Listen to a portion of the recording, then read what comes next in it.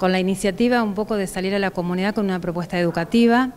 Eh, el seminario aborda los objetivos de desarrollo sostenible, que son 17, pero seleccionamos 5 que consideramos que son los que nos atraviesan como institución. Uno de los objetivos eh, es el de energía y pobreza. Eh, otro de los temas que vamos a abordar es medio ambiente y cambio climático. Otro de los temas es energía y estereotipos de género. Y otro de los temas es hacia una ciudad inteligente y sostenible.